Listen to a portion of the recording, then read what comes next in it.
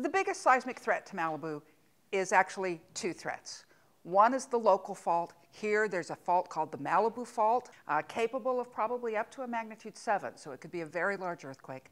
But in addition, the San Andreas Fault, by being so long, produces a magnitude 7.8 or even 8. When the Malibu Fault goes, the actual uh, outcrop of it is offshore, just barely. Uh, so you have the potential for a small tsunami that could be coming with it. Uh, but then the shaking is going to be coming up under the city of Malibu.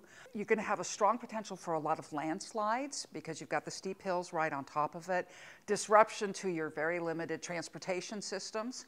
The idea that you're going to be isolated until those landslides can be gotten through is a very important factor.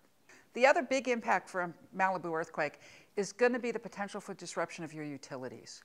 And, and the disruption of utilities is, comes in after the event and it just makes it miserable afterwards.